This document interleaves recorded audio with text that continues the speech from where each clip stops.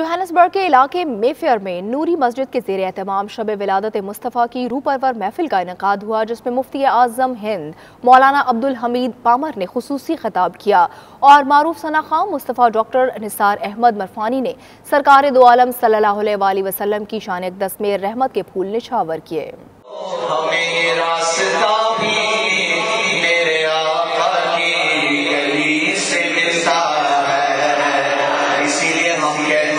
صلی اللہ علیہ یا رسول اللہ. تلاوت قرآن پاک سے محفل کا باقاعدہ آغاز کیا گیا۔ اس موقع پر خلیفہ مفتی اعظم ہند، مولانا عبدالحمید پامر نے روح پرور خطاب کر کے آشقان مصطفیٰ صلی اللہ علیہ وسلم کے دلوں کو خوب گرمایا۔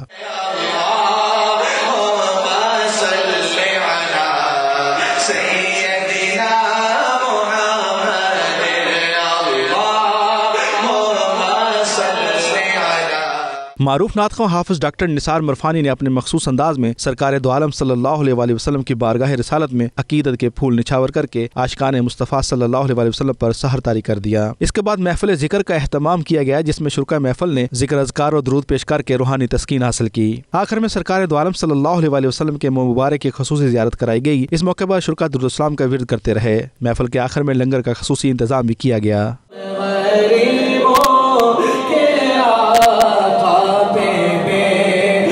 dentro